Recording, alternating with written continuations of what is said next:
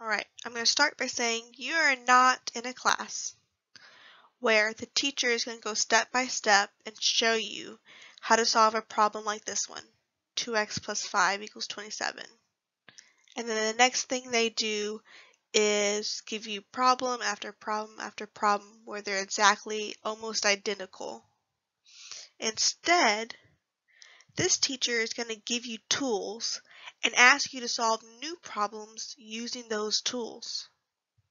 In this video, I'm going to show you how to prove a mathematical statement because you're going to be asked to prove and derive statements throughout this course.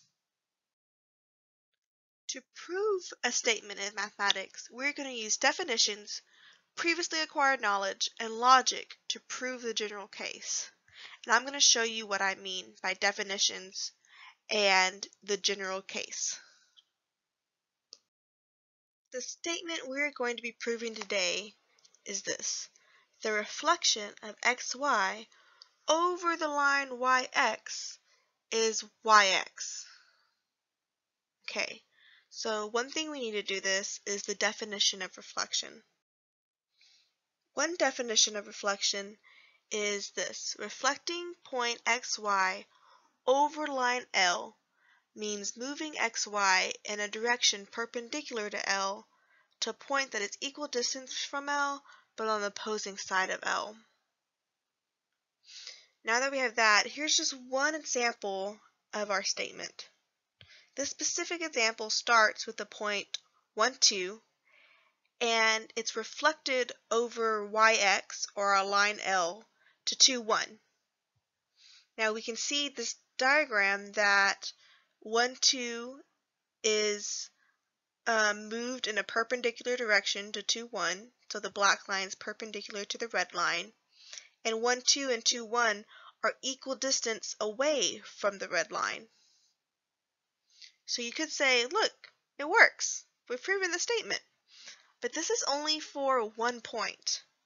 I also have to show for the point, uh, let's see, 0, 2, for negative 1, 1, for 1, negative 1, 2, negative 2, um, 2 halves, 1 half.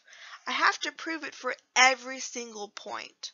I can't just show one example. I have to show all of the examples. So to do that, we're going to talk in general terms or with this general case. So here's a diagram that we want to see. We want something like xy is reflected over to yx. If we can prove and show this picture, then we have proven our statement. We always have to prove a general case which typically involves variables compared to a specific example that typically has numbers.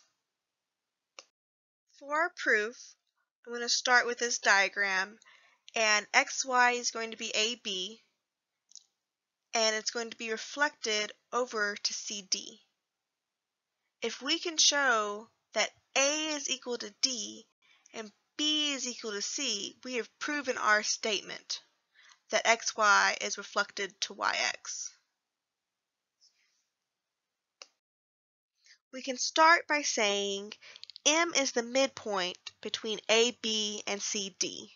We know this because the diagram shows that AB and CD are equal distance from line L, from the red line. Now we can use our previous knowledge and say therefore m is at the point a plus c divided by 2 comma b plus d divided by 2. That's our previous knowledge of the midpoint formula. If we apply the midpoint formula, that's where the point m lies. So we also know that m is on the line y equals x.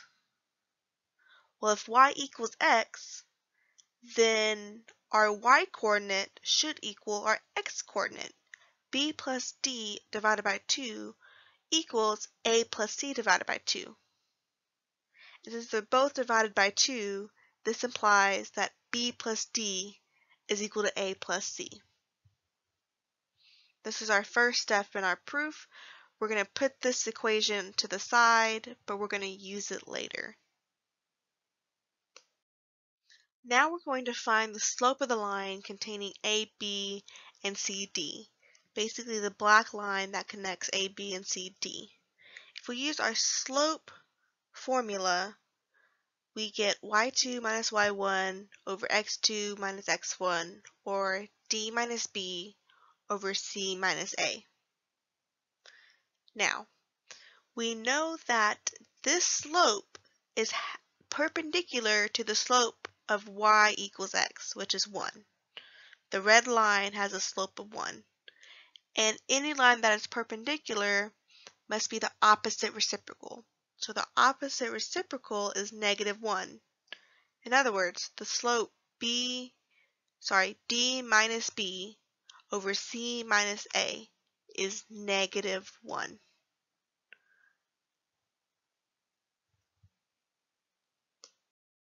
We'll do a little algebra with this equation. First, we'll times both sides by c minus a. So on the left-hand side, the c minus a's cancel. And then we're just left with negative 1 times c minus a on the right. So we'll distribute that negative 1, and we have d minus b equals negative c plus a.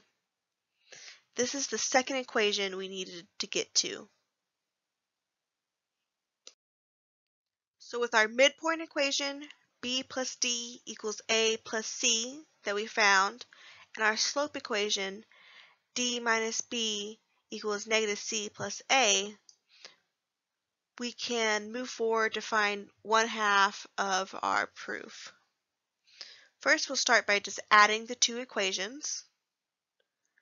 We see that the b's cancel and the c's cancel, so we're left with 2d equals 2a. And if we divide those sides by 2, we have d equals a, which is one half of what we were trying to prove. All we need to do now is prove that b is equal to c. We know that d is equal to a. So with back substitution into the midpoint equation, we're going to start with b plus d equals a plus c, but d is equal to a. So I'm going to substitute d in for A. So now I have B plus A equals A plus C. Now if I minus A from both sides, we see that the A's cancel and all that is left is B is equal to C. So there we have it. A is equal to D and B is equal to C. So this is the general case for any AB the reflection is going to be BA.